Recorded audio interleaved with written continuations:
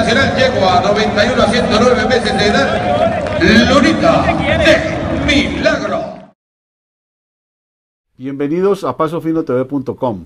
Hacienda La Nube, con sede en Puerto Rico, les presenta las noticias del Mundial.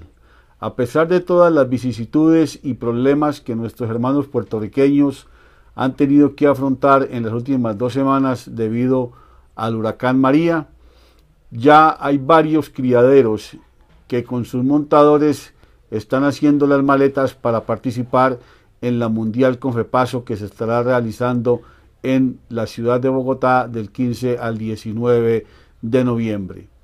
Así es que el coquí puertorriqueño cantará en la pista del hipódromo de los Andes al ritmo de los caballos de paso fino.